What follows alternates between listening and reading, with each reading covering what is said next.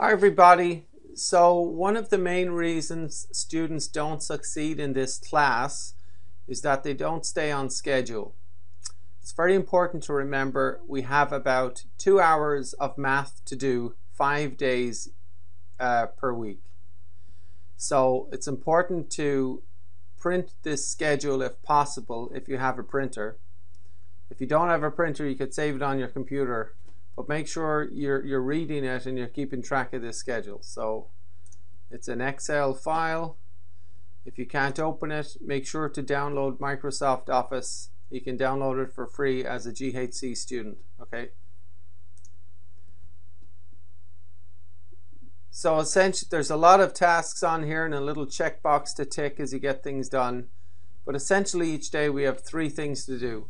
Video homework, textbook homework, and a quiz. The most important of all is the video homework. That's where we attend class and we learn new concepts and we make sure you understand what you're doing. So make sure you play all of the videos and write down all of the examples. That's the most important thing. You will turn in all of your written work then after you take the chapter test. Okay.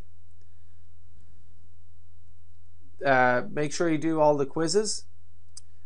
And I'm going to say the textbook homework is optional, highly recommended. Most students say, yeah, I do all of the textbook homework because I need the practice.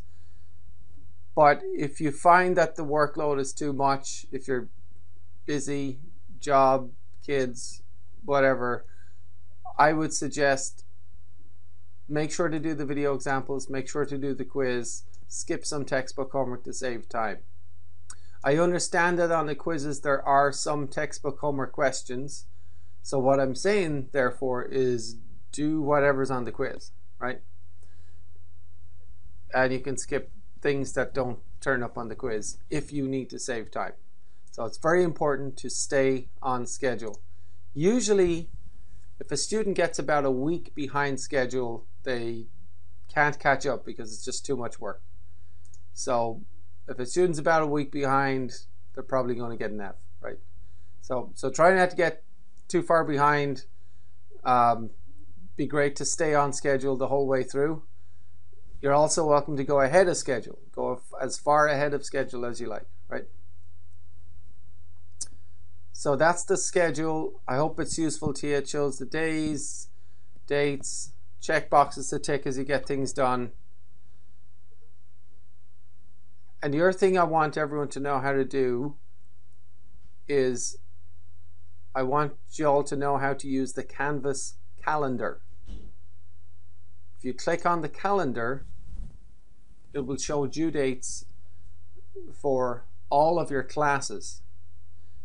For, for my math classes, it'll just show mainly the quizzes, but you know that each day you need to do video examples, textbook homework, and the quiz. So you don't just do the quiz each day, and the most important thing out of that is the video examples, right?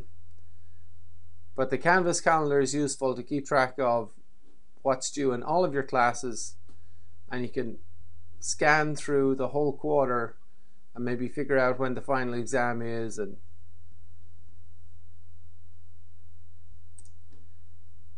So that's the schedule and that's the Canvas calendar and let me know if you have any questions.